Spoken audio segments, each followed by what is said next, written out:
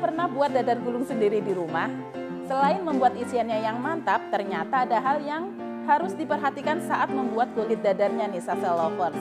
Membuat kulit dadar memang sedikit tricky, tapi kalau Sasa Lovers mengikuti tips dari sajian sedap berikut ini, dijamin kulit dadarnya bakalan berpori cantik, lentur tanpa takut sobek saat dilipat. Penasaran? Tonton videonya sampai habis ya! Pertama, pastikan konsistensi adonan pas. Pada dasarnya, adonan kulit dadar gulung terdiri dari tiga bahan utama yang penting yaitu telur, tepung terigu protein sedang, dan air. Telur berfungsi untuk membuat dadar gulung menjadi berpori. Air berfungsi untuk membuat kulit dadar gulung menjadi lentur. Sedangkan tepung terigu protein sedang berfungsi untuk membuat kulit dadar gulung tidak mudah sobek. Satu hal yang penting untuk diperhatikan dalam membuat dadar gulung yang anti sobek ialah konsistensi adonan. Setelah mencampurkan semua bahan, masukkan takaran air sesuai dengan resep, lalu buatlah adonan yang agak kental tapi tidak encer. Karena bila terlalu encer, kulit dadar pun akan mudah sobek ketika matang nanti. Kedua, diamkan adonan. Setelah mencampur bahan kering dan bahan cair, diamkan adonan dadar gulung lebih kurang selama 15 menit.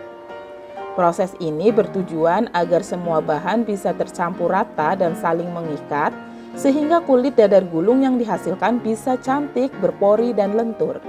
Bila adonan dadar gulung masih terlihat bergerindil atau menggumpal, saring terlebih dahulu agar lebih halus dan licin. Hal ini akan mencegah permukaan kulit dadar pecah dan tidak rata. 3. Pastikan wajan panas.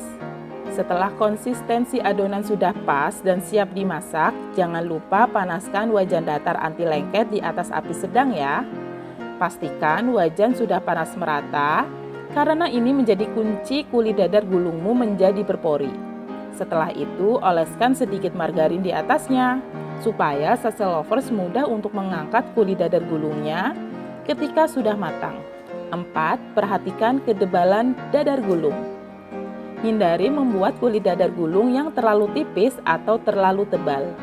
Kulit yang terlalu tipis akan mudah sobek, sedangkan kulit yang terlalu tebal membuatnya sulit untuk dilipat. Gunakan sendok sayur untuk mendapatkan takaran adonan yang pas saat menuang adonan ke dalam wajan. Tuang satu sendok sayur adonan ke atas wajan dan lebarkan hingga rata.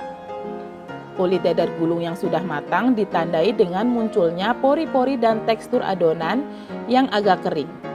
Jangan tunggu adonan hingga menjadi kering karena akan membuatnya mudah sobek saat dilipat. 5. Simpan di wadah kedap udara. Mau buat kulit dadar gulungnya malam lalu baru diolah esok paginya? Bisa kok Sasa Lovers. Tip yang satu ini cocok banget untuk kalian yang ingin berjualan. Sase Lovers bisa menyimpan kulit dadar gulung yang sudah jadi tadi ke dalam wadah kedap udara ya. Jangan lupa juga untuk menyelipkan daun atau plastik di antara tumpukan kulit dadar gulung supaya tidak menempel satu sama lainnya. Kemudian cukup simpan di suhu ruang saja ya.